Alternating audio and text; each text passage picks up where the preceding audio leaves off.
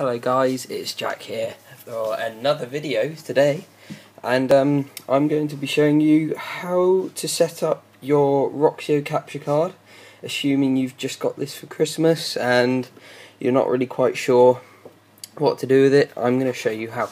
So you want to take your capture card and the USB which comes with it, it's got a weird end to it and uh, that just goes into that white hole right there now the second thing you're going to need, this is this is a, a great capture card because you really don't need anything to set it up, is just two HDMI cables, preferably with the golden ends because you're going to get a better a better quality with them.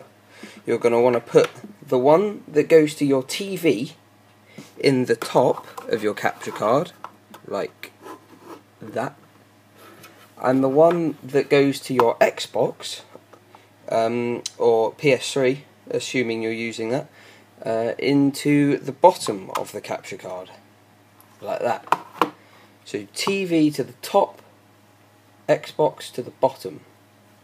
And then you plug that in, obviously, the other end into your TV, the other end into your Xbox, and then the end of this USB, this will be a USB on the other end that goes into your computer, and then you install the disc that comes with it, and you're you're ready to go, really. So that's uh, that's how you set up a, a Roxio capture card. It's really simple. Uh, thanks, guys. Bye.